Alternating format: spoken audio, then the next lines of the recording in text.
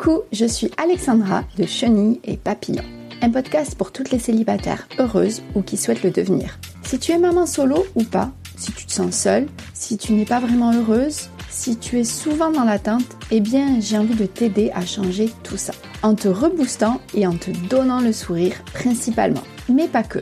Dans ce podcast, je te partage mon expérience, mes astuces, des exercices qui m'ont permis de mieux vivre mon célibat au quotidien tu retrouveras aussi des témoignages d'autres célibataires qui le vivent bien. Ils nous donneront également leurs secrets. Alors si tu souhaites réussir à apprivoiser cette solitude, parfois subie et souvent pesante, si tu veux devenir toi aussi une célibataire heureuse et épanouie, alors tu es au bon endroit. Mon premier conseil sera donc celui-ci. Je te propose de prendre quelques minutes pour prendre soin de toi en te posant confortablement pour écouter ce nouvel épisode. Bonne écoute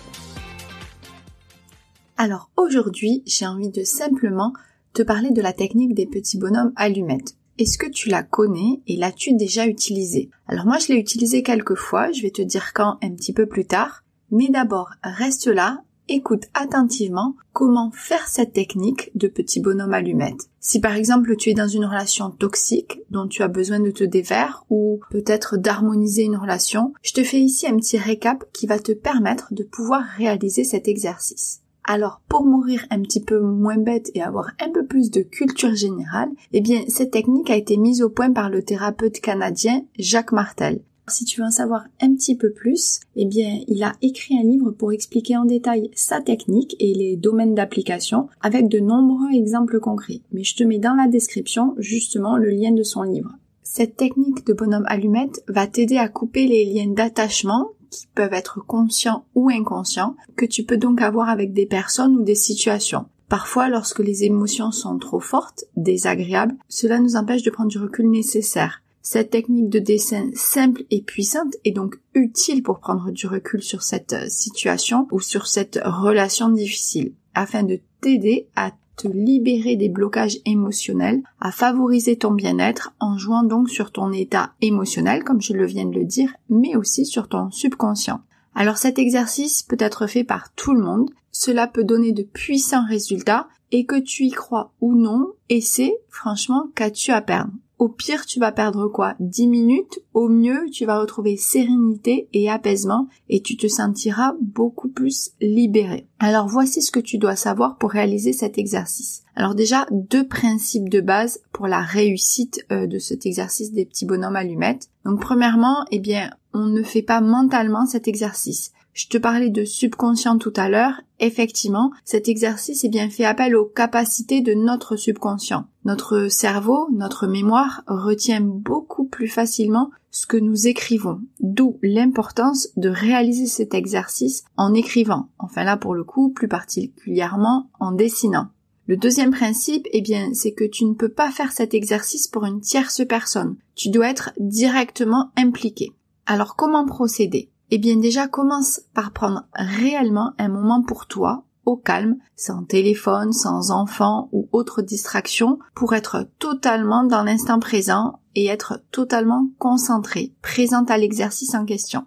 Munis-toi d'une feuille de papier, d'un ciseau, des feutres ou de crayons de couleur si tu as. Sache que les crayons de couleur et les feutres ne sont pas indispensables, rassure-toi. Un simple stylo fait également l'affaire. Ensuite, alors pense à la situation, euh, par exemple professionnelle, personnelle, qui te cause du stress, de l'anxiété. En clair, la situation qui te prend la tête. Ça peut être la vente de ta maison. On parlait de relations aussi. Ça peut être une relation conflictuelle avec ton boss, ton fils, ton plan cul. Bref, c'est toi qui choisis. Sur cette feuille de papier, à droite, eh bien, dessine un petit bonhomme allumette pour te représenter dans cette situation. Tu peux dessiner le bonhomme avec des détails comme des vêtements ou des cheveux si tu le souhaites, mais sincèrement, le dessiner simplement avec juste un corps, des bras, des jambes et une tête, sans oublier euh, les yeux, la bouche, le nez, comme on le faisait enfant, c'est largement suffisant. On ne va pas te demander d'exposer, euh, c'est voilà, quelque chose de simple suffit. En tout cas, sens-toi libre de faire ce qui te convient. Ensuite, tu vas écrire en dessous, eh bien, ton prénom et les initiales de ton nom de famille. Sur la droite de cette même feuille, tu dessines euh, ben, de la même façon la personne que tu as en tête, comme je te le disais, ton boss, un collègue de travail, un membre de ta famille, un ami, ou toi-même si c'est par exemple que tu souhaites être dans une autre euh, capacité.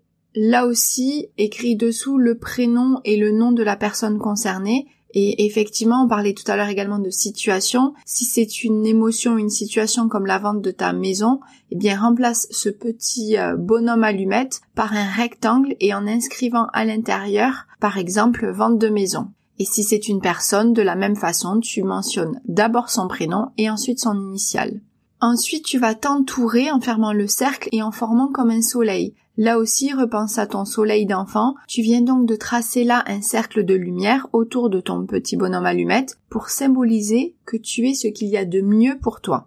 Reproduis également ce cercle de lumière autour du deuxième bonhomme ou de la situation pour symboliser ce que tu souhaites et de ce qu'il y a de mieux eh bien pour cette personne. Ensuite, tu vas tracer un grand cercle de lumière autour des deux bonhommes en rajoutant des petits rayons de lumière de la même façon que tu l'as fait pour toi et l'autre personne ou la situation.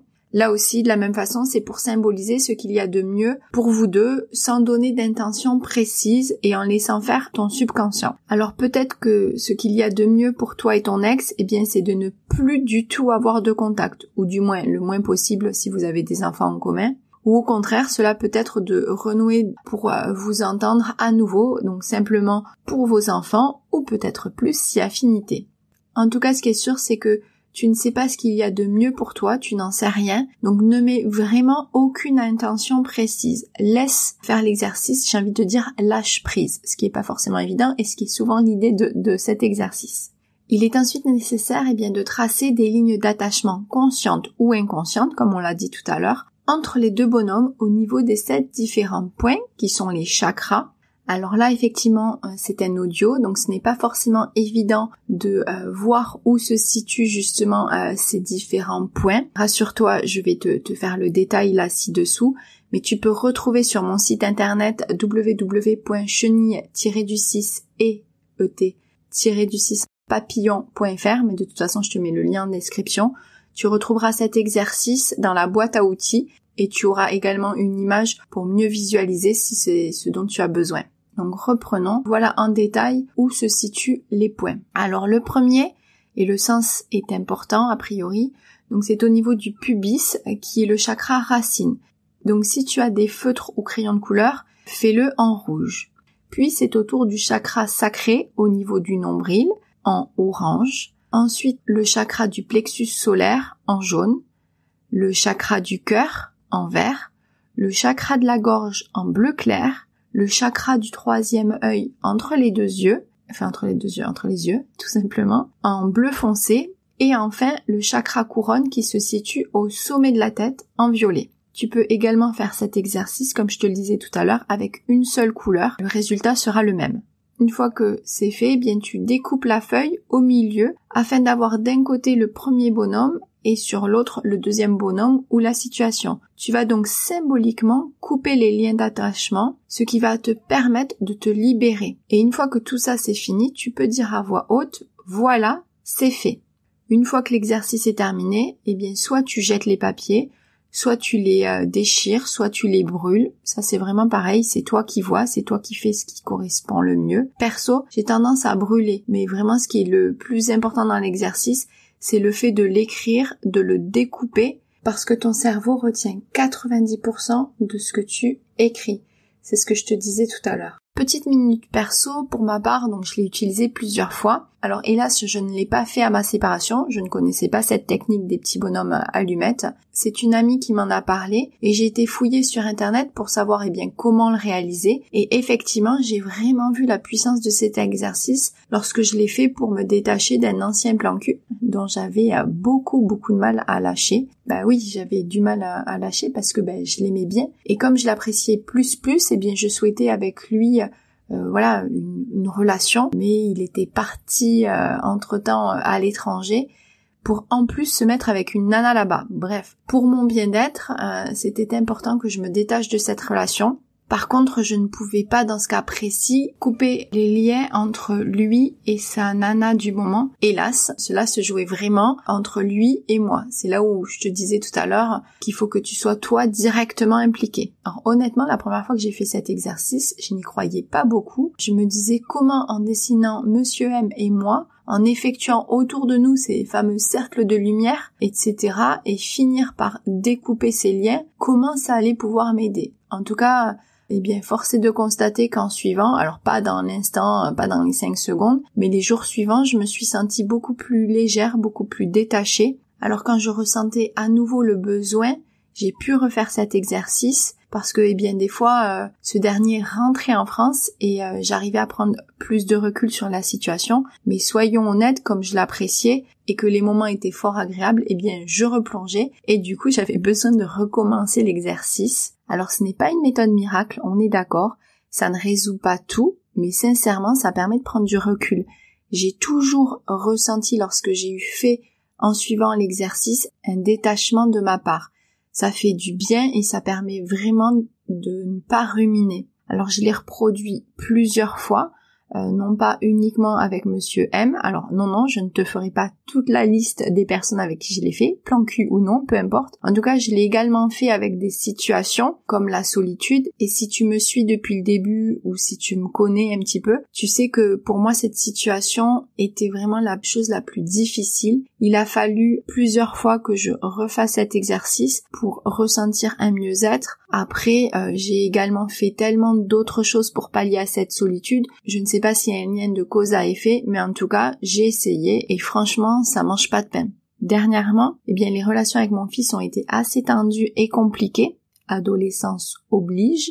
Et oups, franchement, je m'en veux un petit peu parce que je n'ai pas pensé à cet exercice et pourtant je suis persuadée que cela aurait été vraiment bénéfique.